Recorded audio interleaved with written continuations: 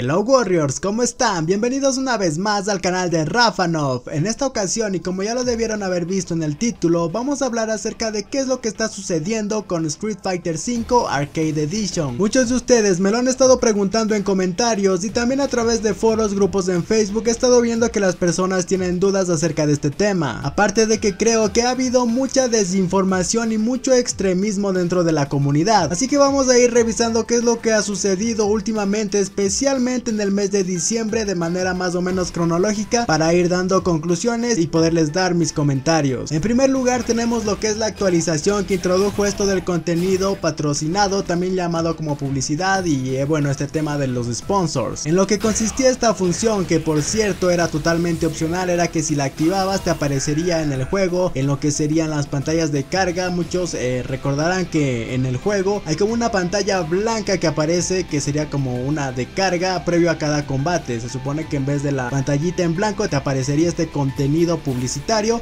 y también en algunos trajes y también lo que serían en algunos escenarios. La publicidad consistía en el mismo evento de, de Capcom que era la Capcom Cup que se iba a llevar a cabo en una o dos semanas luego de que introdujeron esta actualización. Así que en efecto lo que Capcom quería lograr con esta función era que su evento, la Capcom Cup, llegara a mucha más gente. Aunque de todas maneras no les ha gustado a muchas personas la manera en que se implementó y muchas otras pues desde la desinformación nuevamente también criticaron. Creo que la mayoría de esas personas que criticaron eran personas que no tenían el juego y pues esto lo, lo digo porque la mayoría de esas personas ni siquiera creo que tenía en cuenta de que esta función era totalmente opcional. Aunque debo aclarar que algo que no me gustó es que luego de la actualización esta función venía activada predeterminadamente. Obviamente se nota que Capcom quiso ponerse las pilas quiso hacerse la inteligente y traernos la actualización que, ya venía pues con esta opción eh, totalmente predeterminada. Pero bueno, pues yo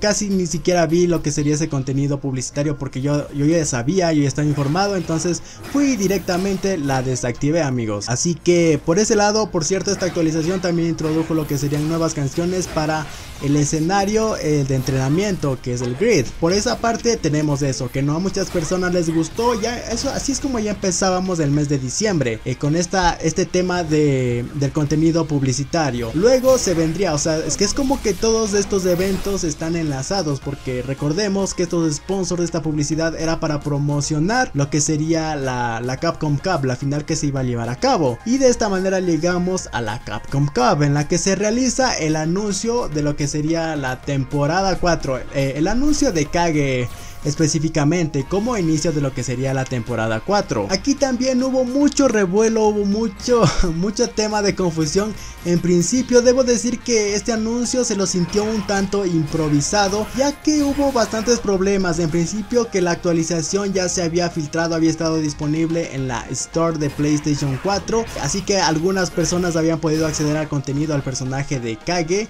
eh, antes de que siquiera se anunciara. Esto como resultado de que hayan querido, hayan tenido planeado poner al personaje disponible inmediatamente luego de, lo que sería el anuncio ese mismo día. Fue muy raro ese día, de hecho hice directo amigos, fue muchos recordarán que estábamos ahí, no sabíamos qué es lo que sucedía, qué es lo que iba a suceder. Eh, muchos tenían las expectativas altas porque de hecho otro tema que me gustaría aclarar es que muchas personas esperaban que vuelvan a mostrar a todos los personajes de la temporada 4, algo que ya vimos que sucedió en la temporada 3 que está mal dicho decir que haya sucedido en el anuncio de la temporada 3, porque para la temporada 3 recordamos que hubo una especie de tráiler en la que aparecían todos los personajes. Se había anunciado a Sakura, pero en ese video también aparecía Blanca, aparecía allí, aparecían todos los personajes, Cody y Sagat. Pero recordemos que esto se dio de esa manera por lo, porque lo que estaban promocionando, lo que querían mostrar no era en sí la temporada 3, sino, lo, sino que querían mostrar que lo que querían promocionar, dar a conocer al público era la llegada de lo que sería la Arcade Edition, amigos. Fue por ese tema, de hecho, el tráiler, el tráiler es lo que sería el opening de esta nueva versión, la Arcade Edition. Entonces, pues para la temporada 4 muchos esperaban que pues se vuelva a dar algo semejante en la que se puedan ver a todos los personajes que iban a aparecer en esta nueva temporada. Por una parte no teníamos por qué esperar a que muestren a todos, aunque obviamente como usuario digo como jugador. Me hubiese gustado también que mostraran a todos. Pero visto lo que había pasado con la temporada 1, recordemos que en la temporada 1 únicamente mostraron siluetas de principio. Luego ya mostraron, nos revelaron los nombres de todos los que iban a aparecer. Lo mismo para la temporada 2, las típicas siluetas. Y para la temporada 3, por motivo de la Arcade Edition, mostraron eh, a todos de una sola. De hecho, fue una gran sorpresa, un gran anuncio, lo recuerdo muy bien. Pero vamos a lo que es la temporada 4. Una cosa que dejó en duda muchos fue que ni siquiera aparecieron las siluetas como había sucedido en las temporadas anteriores, que veíamos las siluetas de los personajes que iban a aparecer. No veíamos al personaje en sí verlo, sino que nada más nos mostraban una silueta. Y esto me lleva a hablar de otro tema, pero antes me gustaría eh, comentar un poquito un mensaje que publicó Yoshinori Ono luego de que se terminara este tema de la Capcom Cup. Eh, publicó, nosotros valoramos y, agradecemos a nuestra comunidad por proveer eh, feedback en, en, lo que sería la nueva característica del contenido patrocinado añadido a Street Fighter V Arcade Edition esta semana. O sea, esa semana se dio precisamente porque se iba a llevar a cabo el evento. Nosotros continuaremos recolectando todo el feedback, todo y cada uno de, de pues, estos comentarios para considerar cómo poder eh, mejorar esta nueva característica para los jugadores en el futuro. Como muchos de ustedes saben, actualmente ya se quitó, ya se retiró esta funcionalidad del contenido patrocinado.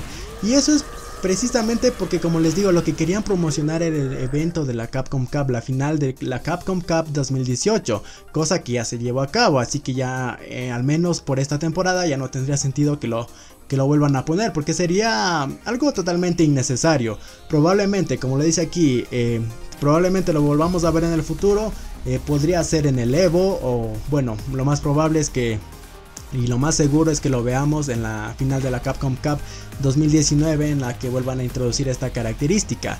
Entonces, al menos, y lo que yo concluyo con esto es que no es una característica que va a estar constantemente. Porque como les digo, lo único que querían que querían eh, promocionar era ese evento en específico.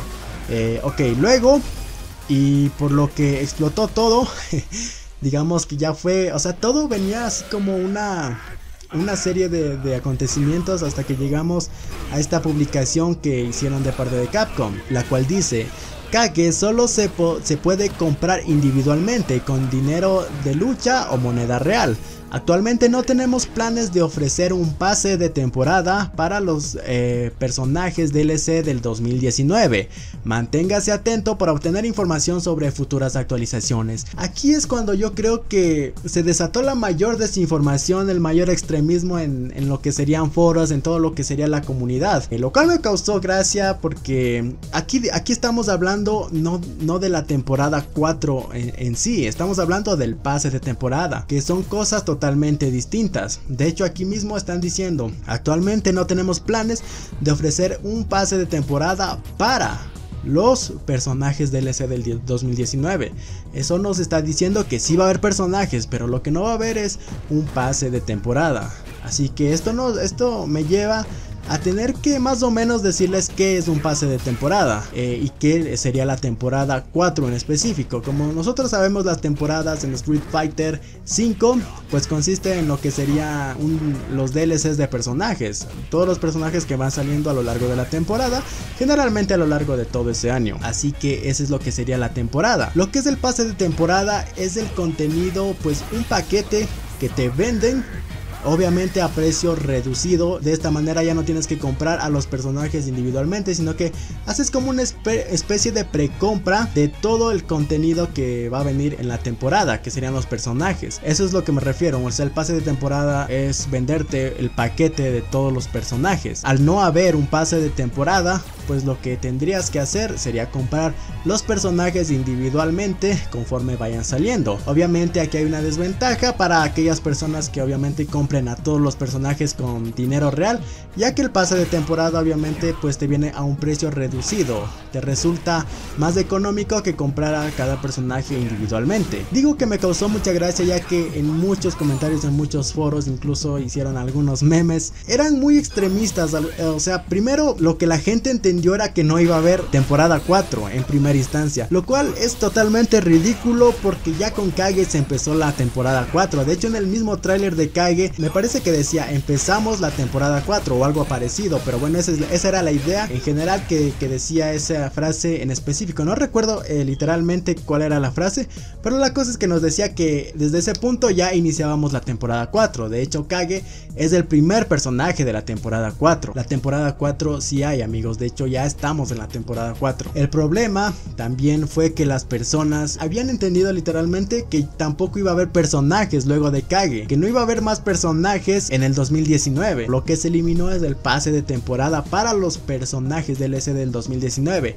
No se eliminaron los personajes de DLC del 2019. Hay incluso algunos que se aventuraron, o sea, extremadamente exagerado a decir que se había acabado el soporte para Street Fighter 5, eh, lo cual es todavía más descabellado. Como dato curioso, me, gustaría decir que Xkira, este pues que suele filtrar cosas acerca de lo que va a salir en Street Fighter 5, ha publicado que en enero, en este mismo mes, no sabemos cuándo, probablemente a, finales, ya que es muy reciente la salida de Kage, probablemente a finales de enero salga el siguiente personaje. Si bien es cierto eh, que ha habido desinformación, también tengo que admitir que es todo muy extraño, o sea, todo es muy extraño, primeramente, ¿por qué? ¿Por qué eliminar el pase de temporada? ¿Qué es lo que trae en manos Capcom? Otra cosa que hay que añadir es que en la Capcom Cup Yoshinori Ono dijo que habían había querido anunciar algunas cosas más que todavía aún no estaban listas y que no lo habían anunciado precisamente por eso, porque aún no estaban listas. Así que probablemente tengamos alguna que otra sorpresa, amigos. Y ahora venimos con otro tema que sería el Fight Money dentro del juego, amigos. ¿Qué está sucediendo? La semana anterior, no, de hecho, hace dos semanas salió lo que sería el Extra Battle, la batalla adicional, este soldado de oro que da Fight Money cuando lo derrotas. El problema es que todo resultó muy extraño cuando estos personajes generalmente vienen con tres oportunidades. Por cada oportunidad que le ganes, vas obteniendo Fight Money. Este soldado vino nada más con una oportunidad, amigos. Con lo cual, obviamente, nos están reduciendo lo que sería la chance para obtener Fight Money. Y además, me parece que desde esa semana también ya habían eliminado lo que sería el desafío semanal que te daba 2500 Fight Money. Que de hecho, antes de la Arcade Edition era 5000. Entonces, se me hace muy raro que lo hayan quitado prácticamente en principio, al menos de lo que sería la anterior semana, creí que, lo, que se habían olvidado porque Capcom a veces se olvida de ponerle extra barrel y lo pone uno o dos días después. Pero no, parece que literalmente, al menos por el momento, lo quitaron. Eh, no sé si por fin de año Tal vez lo reanuden ahora que ya estamos en 2019, no lo sé amigos. Tampoco sé el motivo por el cual lo han hecho. Hay muchos que han empezado a especular que probablemente, o sea, por lo último que ha ido sucediendo, el hecho de que Capcom no haya sacado un, pase de temporada para lo que sería la temporada 4 eh, al haber quitado el Fight Money y todos estos temas, el Extra Battle, eh, muchos han empezado a especular que probablemente Capcom quiera transformar a Street Fighter V en un free to play, lo cual sería muy extraño en principio. Suena lógico con todo lo que estado sucediendo estas últimas semanas, que de hecho han empezado a ocurrir demasiado rápido. Y si, sucede teniendo este precedente, no me extrañaría. Se me haría muy raro un Street Fighter free to play y que pues sea como, como Fortnite, que, que vemos que, te venden los pases de temporada, en este caso te venderían, o sea, vendría, sería muy al estilo también de hecho eh, como Killer Instinct. Entonces ahí también me, me, hace dudar un poco porque no sé qué tan le, le fue a Killer Instinct respecto a lo que sería ese modelo de, entrega de contenido. Pero como les digo, estos son meras especulaciones. Eh, no sé qué es lo que se trae en manos Capcom para el año 2019. Solo espero que todo esto sea para bien de los usuarios, para, bien de todos los que nos gusta jugar Street Fighter. Así que a esperar amigos. Yo creo que si van a volver lo que serían los extra battle. Eh, probablemente vuelvan, no sé, Quisiera que ya, desde ya, quiero creer que nada más por fin de año no lo pusieran y que ya a partir del 2019 viene como una nueva etapa en la que van a empezar tal vez a añadir nuevos eh, jefes de la extra battle o cosas así. Van a hacer tal vez un rebalanceo en la manera en, la que se entrega Fight Money, tal vez. No lo sé, amigos. Pero bueno, creo que con eso se nos acaban los temas. Los temas que al menos quería topar el día de hoy acerca de lo que más la gente ha estado teniendo dudas y de lo cual yo resaltaría más el tema de lo que es el el pase de temporada, ¿no? Saber diferenciar el pase de temporada de la temporada en sí. Así que bueno amigos, cualquier duda, eh, como siempre, eh, el espacio abajo en los comentarios está abierto para el debate. Cualquier duda, cualquier pregunta, me la pueden dejar ahí y ahí estaremos un poco especulando y pues si hay una respuesta en específico también habrá una respuesta. Y bueno, sin nada más que decir, me despido y hasta la próxima.